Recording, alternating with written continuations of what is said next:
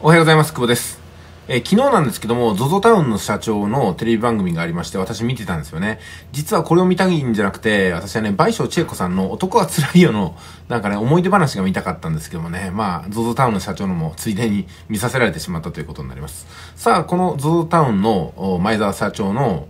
貯金通帳ね、こちらの方なんですけども、興味深く見ましたね。1000億円の預金っていうのはどういう風に表示されてるのかなと思いました。実はこの億円の表示ってのは通帳にどのように記載されてるのかってことは随分ね、長い間私たちの間でもすごくね、評判だったんですよね。で、予測としてはですね、一つ目。えっとね、上位の、なんか、1億円とか10億円とか100億円の上位の桁が不表示になるっていうね、預金通帳の表示になるんではないかなって予測を立てたりとか一人。それから1億円を超えると、1億円以上上のホルダーの専用の通帳が配布されるっていう説が二つ目だったんですよ。